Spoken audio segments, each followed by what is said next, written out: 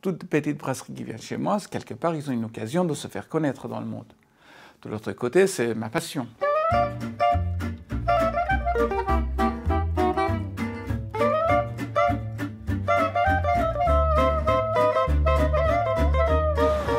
Nous sommes au Birmania, le premier magasin de bière au monde depuis 1983. J'ai le, le, plus grand choix de bière belge aussi au monde. Maintenant, j'ai dépassé plus de 400 bières belges rien qu'artisanales.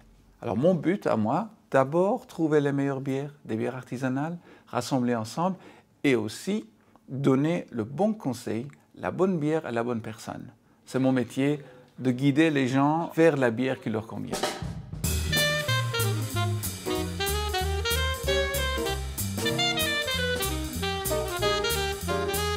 Ça, c'est ma cas personnelle.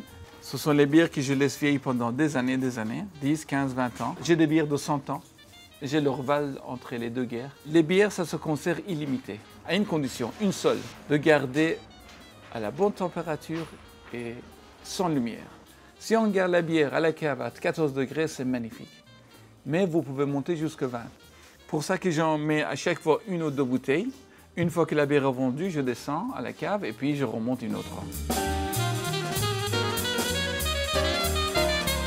On a la bière comme apéritif. On a la bière en, compagnie des repas et des bières qui accompagnent très bien les desserts et bières de digestif. Donc tout ça, j'explique aux gens, euh, et puis le, goût, quelle bière avec quel plat, quel rapport avec quel, quel, fromage, à quel moment de la journée, quelle bière. Donc tout ça, c'est très culturel, très éducatif. Celle-là est élue, et chaque année, la meilleure au monde. Elle est la dernière marche de la progrès de la bière au monde.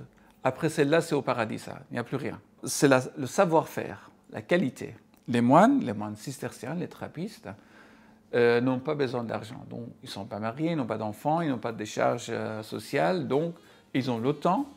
Alors, quand vous avez le temps, quand vous n'avez pas de frais, et quand vous savez faire quelque chose de bien, sûrement votre produit sera meilleur au monde.